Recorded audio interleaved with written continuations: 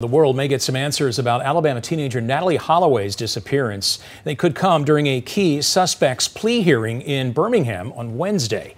Joran van der Sloot is scheduled for a hearing Wednesday morning in his extortion case. He's accused of trying to extort money from Holloway's mother after her daughter's disappearance in Aruba nearly 20 years ago. An NBC report says van der Sloot is expected to provide federal authorities with information about how the Mountain Brook teen died and what happened to her body.